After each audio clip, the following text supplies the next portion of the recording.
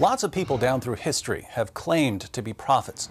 There are people in the world today who claim to be prophets, but their messages contradict each other, so they can't all be speaking for God. This means that we have to examine their messages to see who's really speaking for God. And there are three main possibilities we have to consider. First, the person might be getting revelations from his own mind. He might be deliberately inventing revelations or he might be insane. But it's clear that some so called revelations have a purely human origin. Second, the person might be getting revelations from demonic sources. He's actually receiving revelations. These revelations just don't come from God, they come from somewhere else.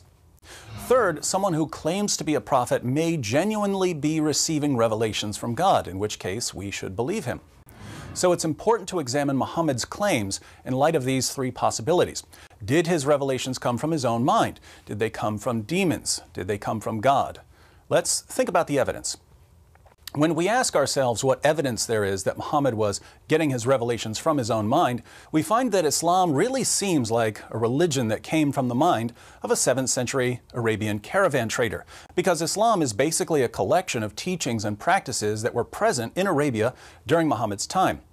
Jewish monotheism had spread into many communities in Arabia, along with biblical and non biblical stories about Adam, Noah, Abraham, Moses, and David. Teachings about Jesus and Mary that were popular in certain Christian cults were being taught in Arabia. Things like Jesus speaking at birth, Jesus giving life to clay birds, Mary giving birth under a palm tree, and so on.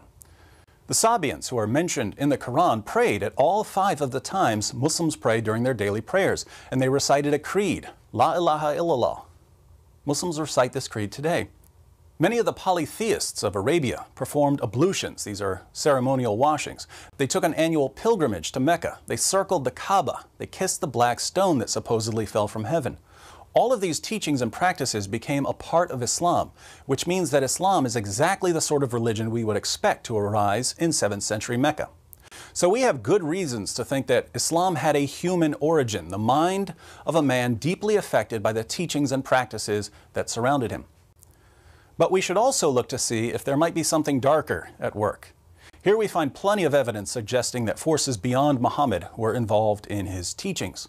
We know from Muslim records that when Muhammad began receiving revelations, his first impression was that he was demon possessed. We also know that after his experience in the cave, he became suicidal tried to hurl himself off a cliff.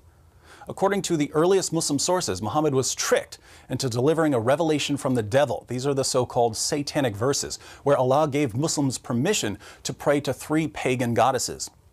Muhammad revealed these verses as part of the Quran, but he later came back and said that Satan had deceived him.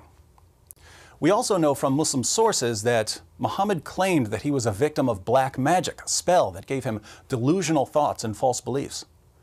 So Muhammad's first impression of his revelations was that he was demon possessed. His revelations made him suicidal, and even Muslim sources claimed that he delivered a revelation from the devil and that he was a victim of black magic.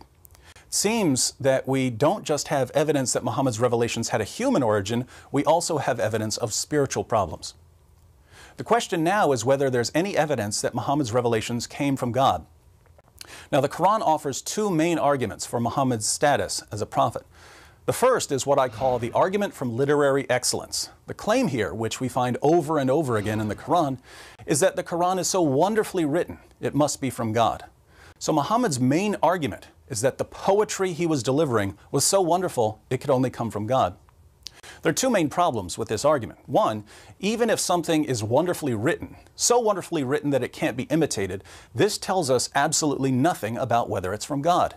If we can't write poems like T.S. Eliot or plays like Shakespeare or books like Charles Dickens, this doesn't mean that Eliot and Shakespeare and Dickens are prophets of God. It would only mean that they had unique literary styles. Two, I'll go ahead and say it, the Quran is awful. I'm someone who reads a lot, and I've never read a book as awful and boring and disorganized as the Quran. I agree with the late philosopher Antony Flew, who said, To read the Quran is a penance rather than a pleasure. He said that reading the Quran is a penance, it's a kind of punishment. So the argument from literary excellence fails completely. The second main argument for Islam is the argument from biblical prophecy. The Quran claims that there are prophecies about Muhammad in the Torah and the Gospel. What's the problem here? Well, According to both the Torah and the Gospel, Muhammad was a false prophet. The criteria for a true prophet laid down in both the Torah and the Gospel rule out Muhammad. So we can't even take this argument seriously. Other arguments for Islam are even weaker, which means we have no good evidence that Muhammad's revelations come from God.